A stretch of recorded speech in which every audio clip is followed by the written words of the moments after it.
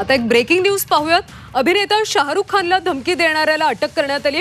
फैजान खानला रायपूरच्या पंढरी परिसरातून बेड्या ठोकण्यात आल्या आज फैजान खानला न्यायालयात हजर केलं जाण्याची शक्यता आहे. पाच नोव्हेंबरला वांद्रे पोलिसांना धमकीचा फोन आला होता. शाहरुख खानकडे पन्नास लाखांची खंडणी मागण्यात आली होती. या प्रकरणी आता एकाला अटक करण्यात आली फैजान खान याला रायपूरच्या पंढरी परिसरातून बेड्या ठोकण्यात आल्या.